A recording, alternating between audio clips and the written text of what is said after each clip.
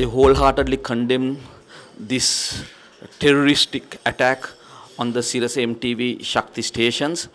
This is not the first time uh, this organization has come under such attack.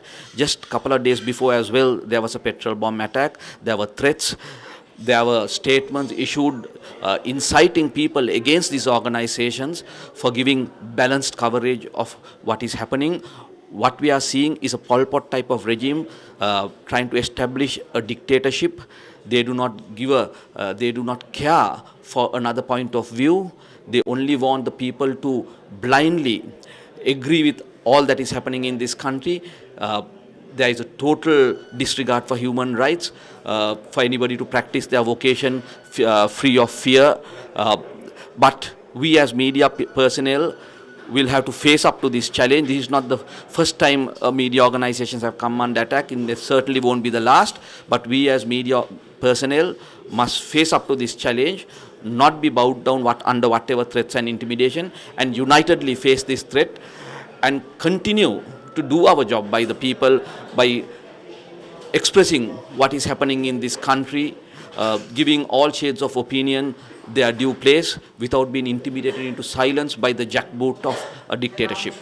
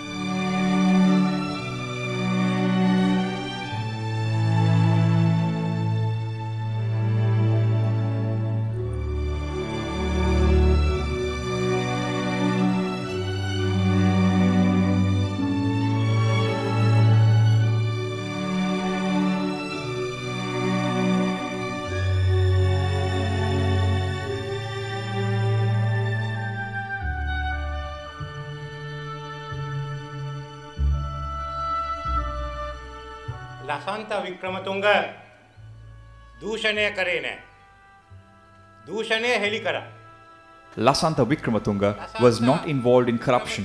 He exposed it. Lasantha Wickrematunge did not violate human rights. He exposed human rights abuses.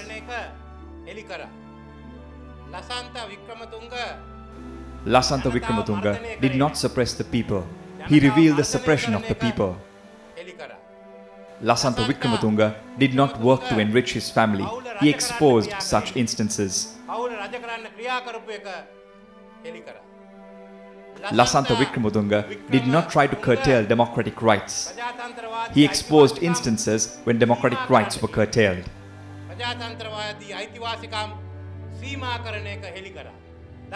Lasantha Wickrematunge is a brave individual. He expressed his views without fear.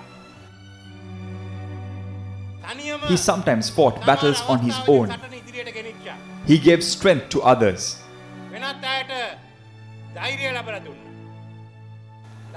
Lasantha's printing press was set ablaze in order to intimidate him. But he was not intimidated. They tried to intimidate Lasantha by abducting Keith Noyahr, attempting to abduct Namal Perera, attacking the Uthayan office, harassing several journalists, killing them and even imprisoning them. But Lasantha was not intimidated. They attacked the Sirasa TV station with claymore bombs and sabotaged operations. But Lasantha was not silent.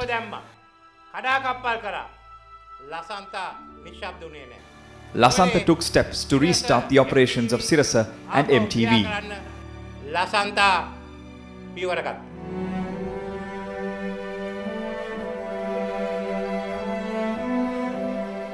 Today it is too late. It is a day when humanity has lost a major voice of truth. It is a day when Lasantha will leave us. He will live on in our hearts and minds. It is a day when we speak to Lasantha for the last time before we say goodbye to him in this life. But what remains is his legacy and what he meant to each of us. Let us honor his work, his courage, and his example. As Dean of the Diplomatic Corps, may I extend our deepest condolences to the family, the staff of the Sunday leader, and all here who have had the privilege to call Lasantha a friend, as have I.